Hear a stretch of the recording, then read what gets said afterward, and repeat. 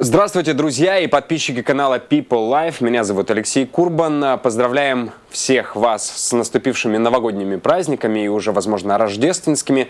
У нас э, в стране продолжается война, но это не даст, э, не, не, не ворует у нас возможности радоваться жизни. И вы должны всегда помнить, что Путин не украдет у нас ни Рождество, ни Новый год. Мы все равно будем жить и праздновать эту жизнь. Мы с вами на канале уже, можно пошутить, что в прошлом году встречались э, с одной из ваших любимых э, ведьм, а у нас их немного. Сейчас со мной на скайп-связи экстрасенс и ведьма Мария Тихая. Мария, здравствуйте. Привет. Мария, рада приветствовать вас. Искренне надеемся, что у вас э, с новогодним настроением все в порядке и ваши силы с, э, восполнились с э, приходом 2023 года. Хочется поговорить о важном. Наши зрители, зрители прям таки жаждут услышать ваш расклад и вашу версию, почему же Путин предлагает перемирие в эти дни, в Рождество, 7, 8, 9 число. С какой целью? Есть ли в этом тайный смысл? Как видите вы? Подожди, он, по-моему, предложил на два дня. Да, на два дня. Ну, я так решил с вашего позволения заглянуть и чуть-чуть дальше. Праздник Рождества ну, Христова смотри, длится три дня, шестое, Они седьмое. пропухали, видимо, неделю. Не подготовили ракетки угу. на праздники, поэтому им нужно время ракеты подготовить просто. Как вы видите праздник Рождества, первый, второй, третий день? Каким он будет для Украины все-таки вот. с объявлением давай, этого перемирия? Давай причину посмотрю, да, почему Путин.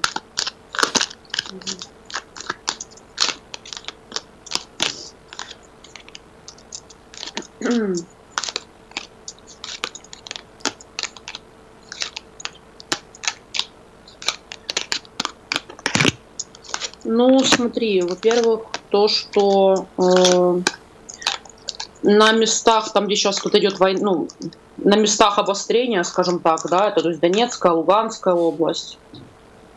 То есть он специально это сделал для того, чтобы э, оттянуть время, для того, чтобы собрать туда технику.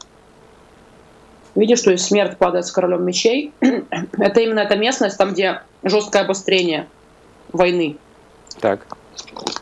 И плюс ко всему, то, что я говорила ранее уже, они сейчас накапливают ракетные носители, потому что они после Нового года бухали, им сейчас тяжковато, короче, в работу входить.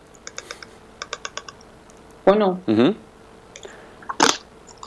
То Просто... есть какие-то э, чем, в чем тайный замысел такого объявления перемирия, если м, точно такое же перемирие мы предлагали, когда хотели собрать хлеб, э, когда было 1 сентября, э, чего даже далеко ходить, э, на Пасху наши, наши военные предлагали сделать перемирие временное, но расшисты все равно обстреляли как мне помнится, Одессу, где погибла мама трехмесячной девочки, с девочкой, если я не ошибаюсь. Э, я помню, да. Ничего такого тайного здесь нет. Я же говорю, то есть, видишь, тайм-аут по четверке мечей чисто просто потому, что они ограничены сейчас ну, в оружии. То есть я же говорю, они сейчас накапливают ракеты для того, чтобы обстрелять потом нас, естественно. Они сейчас стягивают технику границам, там, где сейчас заострение всего этого. И плюс ко всему Донбасс и Луганск. Это просто оттягивание времени. То есть я не вижу здесь какого-то скрытого какого-то умысла. Не вижу здесь как бы добра со стороны Путина. Это просто потому, что у них ну, не получилось ракеты собрать, потому что им нужно время. Угу. Тут штука просто в другом. Предлагая такое, они же заведомо знают, что Украина и вооруженные силы Украины не согласятся на такое перемирие. Конечно. И потом они скажут в очередной раз, что мы самые плохие богохульники и сатанисты, естественно. Что в такой праздник мы обстреляли их базы военные.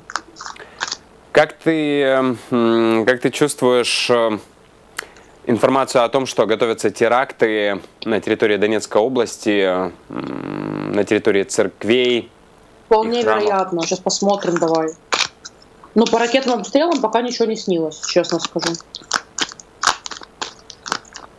Я вчера на другом канале говорила, что будет тревога сегодня фейковая, то есть она была уже утром. Ну, до сих пор, по-моему, да? А, прекратилась буквально несколько минут тому. Так. Будут ли теракты?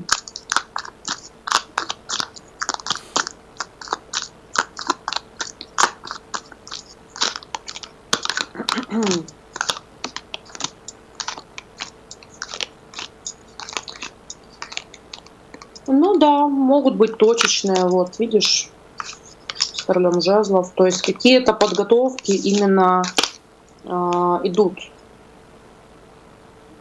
Какие-то подготовки идут. Так, Донецк, Луганск, сейчас посмотрим, давай. Донецк.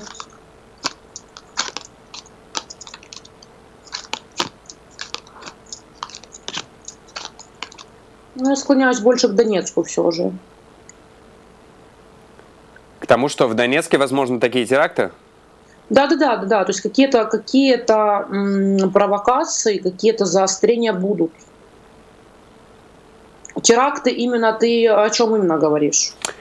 Террористический акт с большим количеством э, жертв, где они скопились э, с какой-то целью. Ну, а цель сейчас одна – это Рождество, праздник, все идут в церковь. Мне просто, мне просто кажется, что как бы там такое постоянно в Донецке. Ну, не, не наблюдал э, за новостями с большим, большим количеством жертв, особенно в праздничные дни. Хорошо, Сейчас давай, хорошо, давай посмотрю. Хорошо, будет ли теракт, прямо как ты говоришь, да, там, не знаю, какой-то церкви, вот подорвут ли там, обстреляют ли. К этой, к этой теме просто нас э, как будто готовят э, в правительстве э, с постами от э, должностных лиц о том, что в эти дни нужно быть максимально аккуратными и даже не посещать церкви. Поэтому и спрашиваю. Ну, я не, я не скажу, что прям будет что-то такое грандиозное, чего мы не видели ранее не скажу. Обстрелы будут сто процентов, потому что суд падает с рыцарем жезлов и десятка пентаклей. То есть какие, по, по каким-то массовым скоплениям пытаться они будут стрелять. Но что-то нового такого прям я не вижу. Угу. Это хорошо, это хорошо, пусть, э, пусть лучше это не произойдет, пусть лучше это будет просто дезинформация. 100%.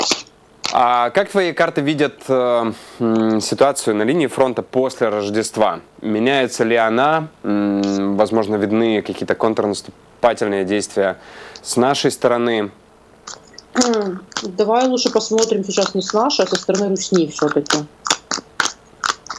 Ну, чтобы как бы планы наших мальчиков не раскрывать, посмотрим, okay. что Русня планирует вообще. Да? Хорошо, да. Так. Донецк, Луганск, да? Донецк, Луганск, Харьковская область, Херсонская. У нас очень длинная линия фронта. Я уверена в том, что наступления русские пойдут на Луганск. Луганск. Угу. Угу. Донецк.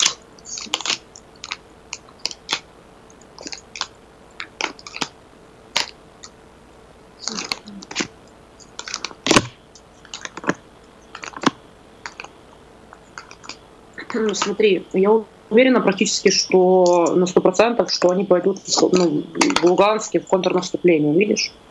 Рыцарь мечей падает десятка мечей. Сейчас... Это после, после Рождества получается. Mm-hmm.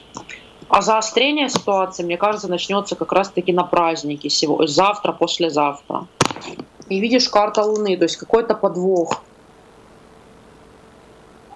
Давай откроем, посмотрим, что это. Прошу.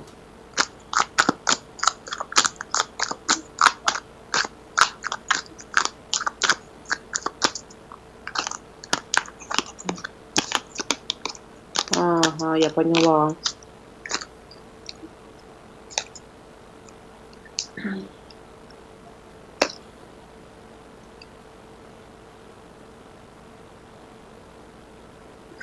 Короче, э, наступление на Луганск начнется, знаешь чего? Придут какие-то новости про обстрел какого-то здания Вот как раз-таки, возможно, это церковь, храм какой-то, потому что здесь, видишь, вот башни падает столько жезлов, иерофант. Понял, да? Как mm-hmm. оно будет? То есть они обстреляют какой-то храм, обстреляют какое-то вот какое-то какое-то здание. Иерофант просто падает. Я склоняюсь все-таки это к храму, к церквям, к собору какому-то. И контрнаступление будет. Но контрнаступление будет какое-то неполноценное, потому что двойка пентаклей падает и двойка мечей. То есть это какой-то отвлекающий маневр будет, видишь? И он будет, э, то есть люди, которые там стоят, они половинно пойдут. То есть какая-то определенная группировка. Ну, ВЗСУшники все это отобьют, как бы. Просто предупреждаю сразу, что это будет, скорее всего, после Рождества, в ближайшее время. Хочу переспросить, половинно пойдут? Да, да, да, да. То есть половина того количества, которое готовится? Да, да, конечно. То есть это какая-то провокация будет, ты понял? То есть это не будет какая-то прям полномасштабное наступление, это провокация. Может ли быть э, это вот тем самым обманным маневром, но тут вот сложно угадать, обманным маневром для чего? Для того, чтобы попытаться что-то сделать э, с территории Беларуси, или у нас есть э, горячая еще точка Херсонская область? Давай Мел... посмотрим вообще, да, для чего это здесь делается. То есть, Мелитополь, возможно, да, Бердянск.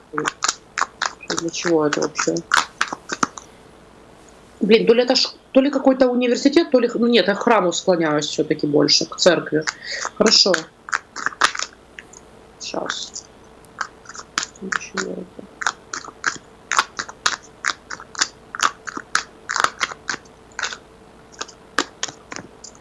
Угу.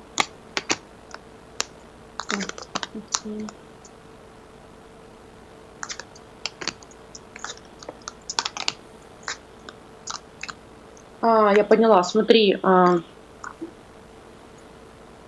Смотри, они на самом деле, вот, ну, как бы, оккупируя наши территории, они э, очень много территорий сейчас ну, потеряли, ты же понимаешь, да? Потому что ЗСУ очень хорошо, активно двигаются, вот, и возвращают наш, ну, как бы, наши территории домой. И, соответственно, они хотят, поскольку в Донецке все же сейчас временно, они взяли верх. Это я сразу говорю. Так. То есть я четко вижу, пока у них там победы в Донецке они хотят линию фронта выровнять. То есть, соответственно, они хотят Луганск подмять под себя. Но здесь ситуация сложнее намного. И вот это чисто все сделано для того, что они, ну, они просто хотят, короче, вернуть Луганск себе, взять под контроль. Понял его? Так. Потому что, что по картам показывают, то есть как раз-таки ЗСУ их щимят очень сильно в этом направлении. Донецк наоборот. Донецк тут, короче, они немножко вверх взяли. Они просто хотят выровнять линию фронта и поджать под себя. Вот и все. Хорошо. Видишь, не хотят поражения нашего. Так, тогда, тогда вопрос. Хотят. А как твои карты видят это намерение хотят в реализации? Хорошо, Хот... давай, ВСУ их отобьют? Ну, сто процентов. Ага. ага. Смотри, ЗСУ сто процентов их отобьют, причем это будет как-то сделано хитро, потому что карта дурака падает. Это будет сделано хитро, и э, они их отгонят куда-то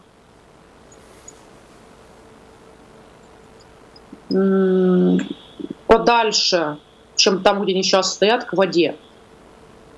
То есть какая-то местность с водой. Так. Дальше. За От, нее, да? Отгонят, короче, угу. Хорошо. Скажи, эти события будут происходить э, в середине января? Я думаю, честно говоря, что заострение начнется после Рождества уже. Угу. Ну, вот с числа, как... с числа, может, потихонечку раскрыться, с числа 11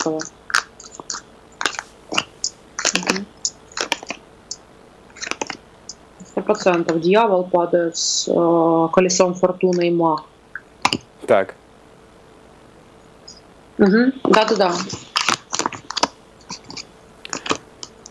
Хорошо, скажи, у этого наступления э, со стороны оккупантов есть еще какая-то цель повыше? Или это просто э, опять забрать временно оккупированную территорию и не продвинуться дальше, не удержать какую-то линию обороны в Херсонской области? Это просто, получается, естественный ход событий сейчас происходит? Или, возможно, подготовка к чему-то еще? Понимаешь, в чем дело? Дело в том, что у них сейчас, ну, они очень хаотично действуют, потому что они не знают, что им делать. Там потеряли, там потеряли, там потеряли. Над ними как бы весь мир уже ржет. И, соответственно, для того, чтобы грязь лицом не упасть, они хотят хоть где-то что-то удержать. Поэтому они так хаотично действуют. Честно говоря, я считаю, что вот эти вот все заострения, которые будут, в частности, в Луганске и Донецке, они связаны с тем, что они хотят разместить э, ядерку. Насколько я помню, Путин хотел в Крыму, да? Ну, да, Крым или Беларусь э, как плацдарм для провокации с ядерным оружием? Ну, я уверена, что в Крыму они уже поставили на воде носители. Корабли, скорее всего.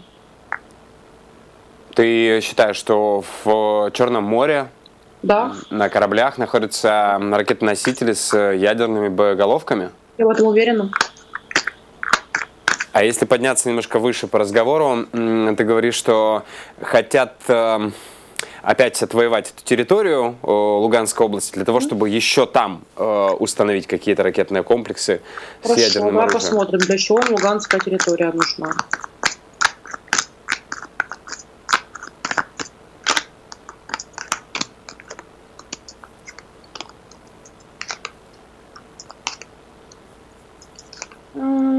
Нет, им Луганская территория нужна не для того, чтобы комплексы ставить какие-то ракетные. Чисто это просто их владение. То есть они считают, что это их земля.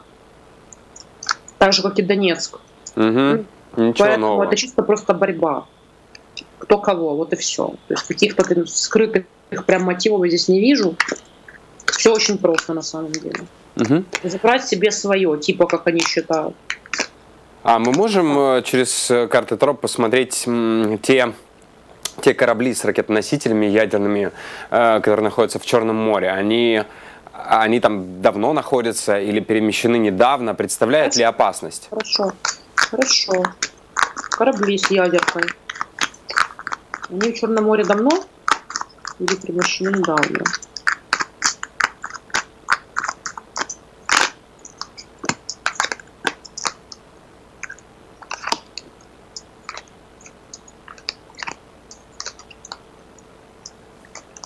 М, Нет, смотри, они находятся там, во-первых, давно, а во-вторых, э, там, там не полный объем этих ракет, там их, там их не очень много. То есть это какая-то часть небольшая. Так. Мгм. Но они там находятся, и это уже тревожный звоночек. Ничего страшного, ничего страшного. Я думаю, это просто для того, чтобы пугать. Мгм. Хорошо. Э, Есть еще вопрос. Новогоднее выступление Путина. Это не столько выступление гражданского главы в канун новолетия, сколько речь верховного главнокомандующего перед последним и решительным наступлением на главном фронте. Как твои карты видят? Подготовка к мобилизации, которая сейчас э, происходит, она действительно закончится всеобщей мобилизацией, новой волной в России для того, чтобы еще раз попытаться массово пойти на Украину? Ну, смотри, я не меняю своего мнения насчет того, что попытка будет пойти. Мы общались, помнишь, в прошлый раз про сны, Так. там мои рассказывала. Поэтому посмотрим, какой будет февраль, начало марта. Ну вот интересно, как карты видят твои э, мобилизацию, насколько она будет менять еще всякие варианты пространств, и в том числе месяц э, март. Мобилизация в России будет. Сто процентов. Но она будет опять-таки не совсем полная, как они хотят. Так. То есть они хотят, там, не знаю, сколько понабирать они хотят. Даже, даже не интересовался, уже давно бросил интересоваться. Она будет не полная. Это все мобилизованные, которые пойдут э, на фронт? Ну да. Будут брошены прям как просто мобилизованных, и их э, по правилам войны, правилам армии э, не посылают сразу на линию фронта. Кто не посылает? Русня? Ну, я говорю по правилам, по правилам войны, по правилам фронта. У этих э, ребят понятно, что это работает э, чуть-чуть по-другому. Просто интересно, что собирают новую волну э, людей, и россияне все это, что называется, хавают. И никакого восстания мы там... И, никакого, никакого повстания не будет. То есть я, в принципе, вчера смотрела этот вопрос. То есть будут какие-то частичные, ну вот, э, группы людей, да, частично будут как бы выходить. Опять-таки, все это начнется с женщин, которые недовольны тем, что мужья и сыновья уходят на фронт. Но сказать, что прям там что-то такое грандиозное случилось, нет. У меня больше надежда все-таки есть на группу вот этих вот партизанов, так. которые там поджигают. Ты же видел, да? Что-то ну, поджигают, против да. войны, которые поджигают э, склады и все остальное. Больше на них надежда, честно говоря, чем mm-hmm. на людей. Mm-hmm. Хорошо. То есть приходит новая волна мобилизации. Э, россияне склонили голову э, еще ниже, чтобы не ослепляло их э, солнышко их царя, и себе покорно отдают своих сыновей. Давай посмотрим, хорошо, давай реакция людей вообще на мобилизацию, да, то есть какая она будет. Ну, женщины, я же тебе говорю, то есть это женщины, опять, больше массы. Угу. Но опять-таки, видишь, э, да, массово какие-то будут моменты связаны там с повстанием, как ты кажешь, но все равно это семерка мечей, то есть это именно нестойкое намерение. То есть, это, знаешь, это люди вышли, постояли, их разогнали, и все. То есть оно быстро будет как бы заканчиваться. Без большого желания. Да. Угу. У них нету просто такого духа, как бы как у нас, да, когда мы на Майдан выходили. У них такого нет. И, ждать этого тоже как бы, ну, это глупо. Угу. Ну, это да, э, это да, ждать, ждать такого. Мы не сможем, мы не сможем в них воспитать, понимаешь, этот дух мы не сможем в голову им вбить свою правду, у них она своя. Поэтому ну, ждать чего-то от них, ну это глупо. Мы уже даже... Если они могут скинуть своего царька, они могут повлиять на одного человека, который при власти. Но мне страшно за них. Даже бросили попытки уже э, думать о том, что там что-то может да, измениться. Вот и все. Ну, это амебное, амебное общество. Не о чем с ними разговаривать, в принципе. Мария, еще буквально э, пара вопросов. По данным главы э, разведки украинской, именно в марте боевые действия будут самыми жаркими. Это цитата. Э, в планы входят освобождение территории и нанесение окончательного поражения Российской Федерации. Ты про как... Буданова говоришь сейчас? Э, да, это прямое заявление э, главы разведки. Как ты видишь март в Украине? Э, ну, смотри, Буданов никогда не ошибается, кстати. Ну, это же глава разведки, он может говорить одно, а потом сделать другое для того, чтобы... Смотри, я просто пока не хочу врать. Почему? Потому что я не видела пока конца войны. Угу. Не показывали ни сны, ни видения. По картам я такое смотреть не смотрю, потому что для меня это все ну, дичь. То есть я больше склоняюсь как бы ну, к тому, что нужно через видение смотреть, особенно экстрасенсов. Вот. И у меня больше доверия просто к силам, да, которые мне покажут, помогут. Поэтому пока ждем. Насчет того, что победа будет, ну дай боги, чтобы она была в марте. Все этого ждут, я безумно тоже жду. Но все-таки я склоняюсь к тому, что зимой будет заострение, и э, не будем забывать о том, что попытка пойти она будет. Понимаешь, да? Ну, э, здесь больше, больше я вот так сообщение читаю, что здесь не о попытке пойти на Украину, а наоборот – каком-то... Нет, нет, я слышала уже тоже от своих знакомых информацию, что вот посмотришь, Русня сдастся там в феврале и так далее. Ну, хорошо, давай посмотрим сейчас, насколько эти слова правдивы в данный момент, да? То есть как карты покажут. Ты же знаешь, что все мои видения, все всегда рассказываю вам. Пока ничего такого не видела. Пока вот ближайшая повестка дня это ракетные обстрелы и э, заострение на ну, Луганске. которые будут.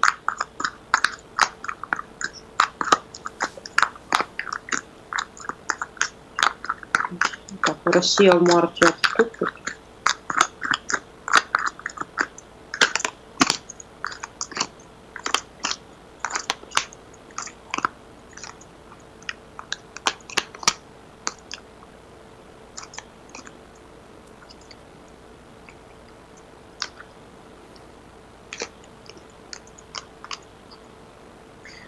Ну, блин, мне кажется, мне карты показывают сейчас просто мое желание, понял?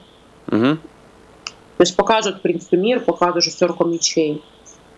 То есть есть такая вероятность, и карта правосудия падает в конечном итоге. То есть может такое быть, Может такое быть что?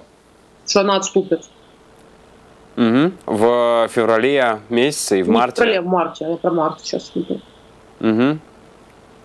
Интересно. Ну, Но честно говоря, я все равно, я говорю, картам особо сейчас не доверяю в этом плане. Почему? Потому что я могу считывать свои какие-то эмоции и желания. То есть я все равно склоняюсь к тому, что еще будет заострение. И э, вот в любом случае карта Солнца падает. То есть победа должна быть, знаешь, вот в теплое время года. Это сто процентов. Это сто процентов. Хорошо, можем отложить этот вопрос и м, посмотреть Да, пресвет- конечно, еще после до марта, когда не барачки, еще два месяца целых. Это что у нас получается? Январь, февраль, ну да. Ну, э, тут дело в том, что у военных оно же так э, по-другому немножечко работает. Мне кажется, что сейчас даже могут э, прорабатываться какие-то какие вещи, которые будут сделаны через два Ну, месяца. Конечно, конечно. Это еще меняться будет. Давай потом, да, это пересмотрим позже. Хорошо. Потому что пока никаких видений не видела. Только буду видеть, сразу скажу все. Спасибо тебе, Подожди, спасибо не за... забываем просто еще, Леш, про мой сон, про косу, которую я говорила. Помнишь, я рассказывала? Напомни, пожалуйста. Ну, когда я шла по косе, я видела с одной стороны воду, с другой стороны парк аттракционов, спуск на пляж, помнишь? Да, это мы предполагали, что это может быть Бердянск. Вот. И мне там писали Кенгурская, писали Федотова, коса и так далее. Но это как бы теплый период времени, когда люди уже купаются. Поэтому смотрим, как оно будет деоккупироваться все.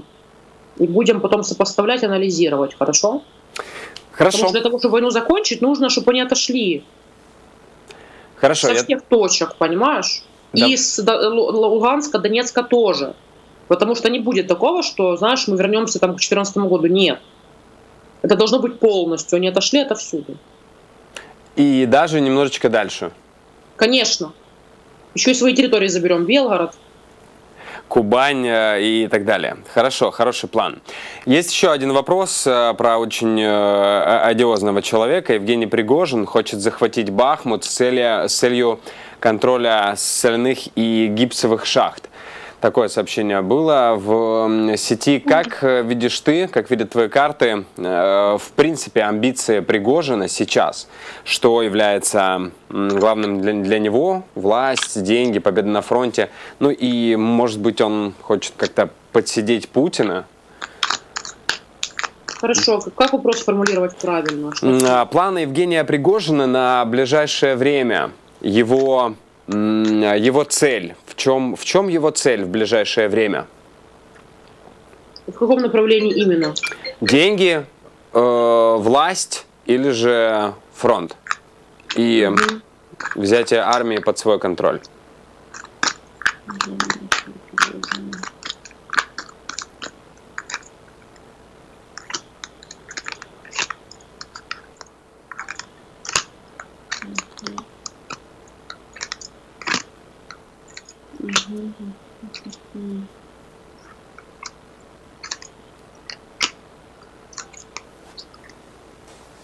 Я тебе так скажу, у него здесь полная каша, то есть ему и земля важна, потому что императрица падает.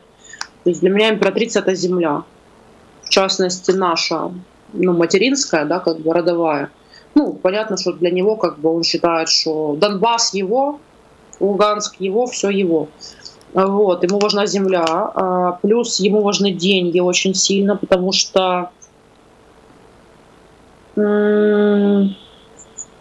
он считает, что при помощи денег он налаживает связи, видишь? То есть падает двойка кубков, это именно связи. И шестерка пентаклей – это помощь, взаимопомощь, причем ну, финансово выгодная. Так. И плюс ко всему, да, а, для баланса, типа, то есть карта мира падает, пятерка жезлов, победа, то есть победа и баланс в войне. Ему все важно, в общем. И финансовая часть, и победа ему важна, и связи вот эти вот. А связи для чего нужны? Для того, чтобы вылезти повыше.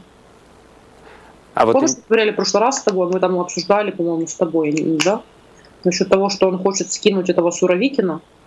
Да, была, был, был такой разговор у нас. Но тут э, еще появилась после новогодних праздников э, инсайдерская инфа- информация, что Пригожин э, очень фамильярничает э, с Путиным, называет его Володя на «ты», а Путин ему покорно просто Хорошо. покорно кивает. Интересно просто, нас, насколько увеличивается власть этого человека над Путиным, потому что тот э, Пригожин руководит частной военной компанией, которая наступательные действия проводит.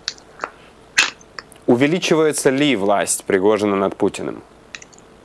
Ну да, у них как бы отношения хорошие здесь, типа как. Боже, ты такие падают карты, тут с кубков падают. Что за... Прям эмоции. Почему? Можно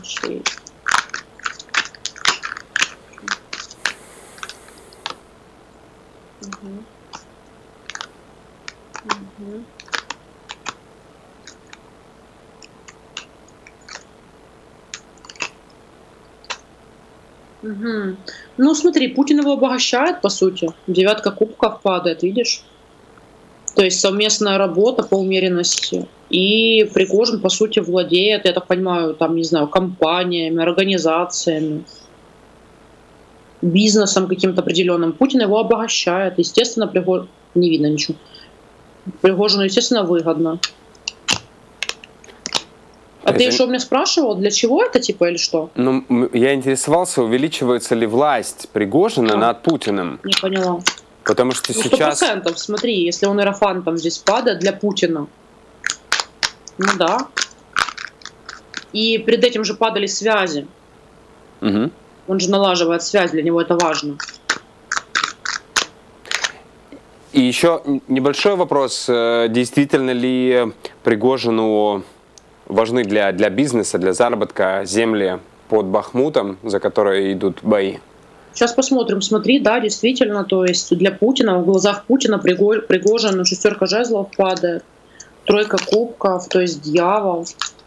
То есть для него Пригожин тот человек, с которым он победит в войне. Он, угу. правда, его слышит, слушает. То есть Пригожин имеет влияние на Путина, это правда, да. Вместе подбухивают, я так понимаю. Тройка кубков это вообще ну, карта как бы праз, празднования чего-либо. Угу. Победы, празднования. Здесь прям хорошо. Для чего Пригожину нужен Бахмут на самом деле?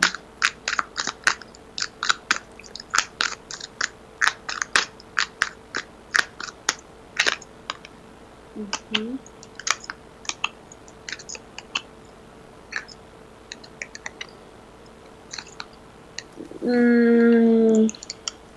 Ну, ты правильно сказал, почему? Потому что здесь какой-то механизм, смотри, то есть сразу колесо фортуны падает, какой-то механизм. И колесница. Что там говорил, он что-то хочет добывать или что? Ну, ему интересен этот регион просто, в, э, чтобы получить контроль над шах, э, шахтами, где Шахты, добывают да, соль. Правильно, да, да, механизм, видишь, падает. То есть это какой-то процесс, и карта башни падает. Но это правда, да. Ну, нужно. А, а какой мотив получить этот механизм? Хорошо, какой мотив? Получить эти шахты, для чего ему нужны?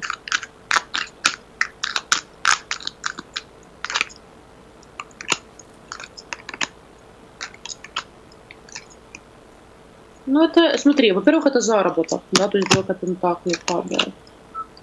Десятка пентаклей, даже не то, что заработок, это бизнес нехилый такой. Это раз. И два... Э... А, я поняла. Ясно. Короче, не знаю, может, что новенькое скажу, может, нет. Ему нужны э, выходы под землей.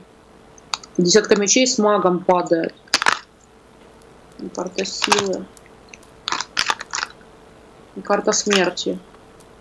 Ему нужны выходы под землей. Очень интересно. Выходы, прям, прям как выходы, как ходы под землей? Да, да. А для чего ты же сам понимаешь? Для того, чтобы идти. Шнырять под землей по Украине. Угу. Иметь доступ. Или же наоборот, кому-то помогать выйти. Ну или типа так, да. То есть четко, видишь, смерть, это сто процентов прям смерть. Это то, что под землей находится. То есть ему нужно вот бабло, понятное дело, отмывать, но ему нужно прям... Интересно, кстати, я не ожидала такого ответа. Угу. Да. Хитрый чувак. Я тоже не ожидал такого ответа, и это, ну, порождает... Это все объясняет, это все объясняет на самом деле.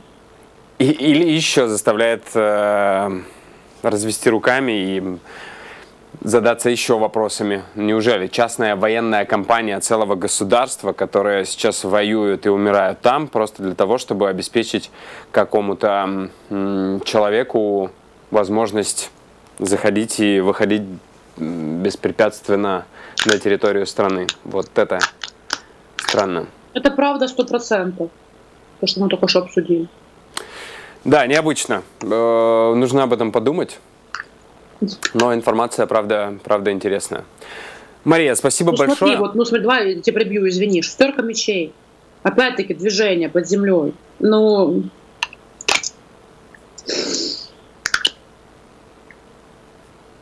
Угу. Движение под землей. Может быть, там что-то, кроме какой-то соли и гипса, находится? Мне кажется, дело не в этом. Нет, смотри, там падал бизнес, падали деньги. Но мне кажется почему-то все-таки, что это нужно для его вот этих вот вагнеровцев завербованных. И нужно что-то прям...